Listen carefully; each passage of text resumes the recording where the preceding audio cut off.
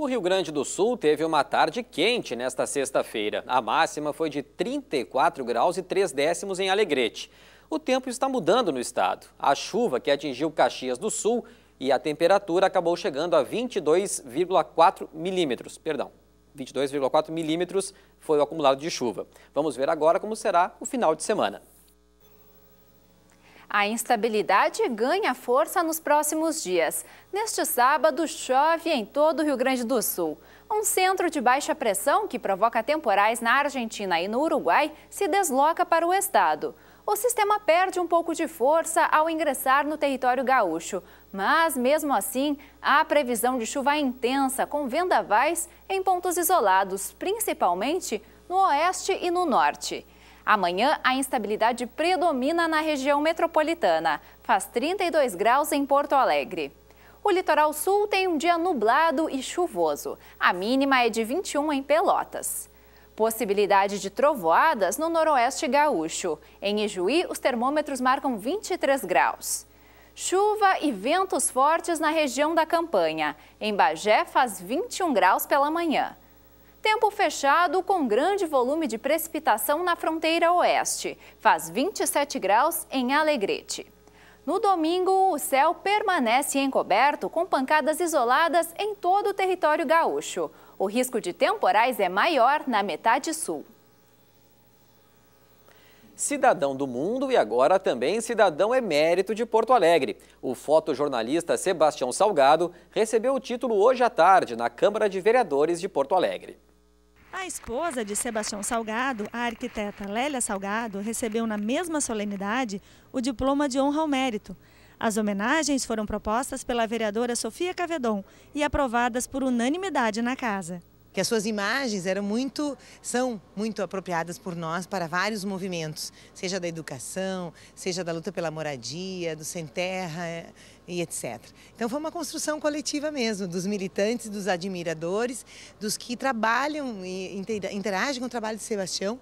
E o bacana é que a ideia era valorizar a Lélia, né?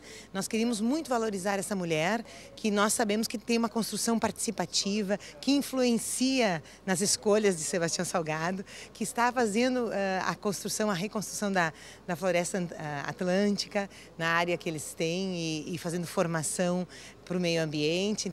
Sebastião Salgado, que é mineiro, recebeu o título com alegria, por considerar a capital dos gaúchos uma referência importante na discussão do tema da exclusão social. Um dos problemas que ele retrata através de suas lentes. Foi um prazer receber esse título né, da Câmara de Porto Alegre, de ser cidadão de Porto Alegre. Eu tenho uma grande consideração pelo estado do Rio Grande do Sul e principalmente por Porto Alegre. É, desde a minha infância, e a cidade de Porto Alegre foi importante para a gente, sempre importante.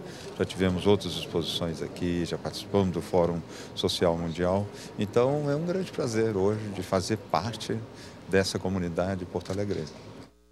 E Porto Alegre será a primeira cidade do país a exibir o documentário Revelando Sebastião Salgado, da diretora Betsy de Paula. O lançamento acontece na próxima terça-feira, às 8 da noite, na sala PF Gastal, da usina do gasômetro, com entrada franca. A exibição regular diária começa na quarta-feira. A Organização de Ajuda Humanitária Médicos Sem Fronteiras está com uma exposição no Parque da Redenção, em Porto Alegre, sobre a vida de refugiados de países em situação de risco. A mostra vai até o próximo dia 23. A exposição Campo de Refugiados no Coração da Cidade traz diversas fotografias, assim como réplicas de barracas usadas para prestar atendimento médico às populações de países com milhões de refugiados, como o Sudão do Sul ou a República Centro-Africana.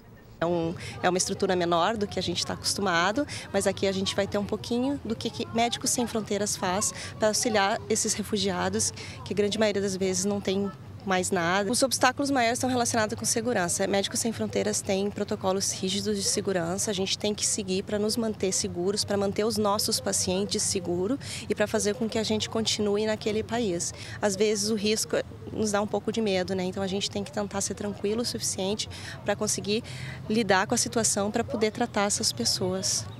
Esta tenda de galhos e sapê é uma réplica do que milhões de refugiados de guerra chamam de casa. As missões envolvem alto grau de risco. Vanessa está há quatro anos na Médicos Sem Fronteiras e acaba de voltar de uma missão na República Centro-Africana.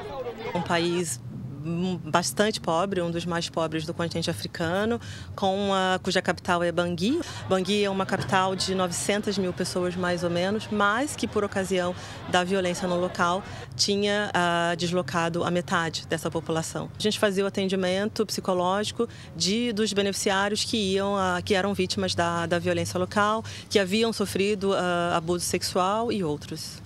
A gente tinha uma limitação uh, de, de, movimento.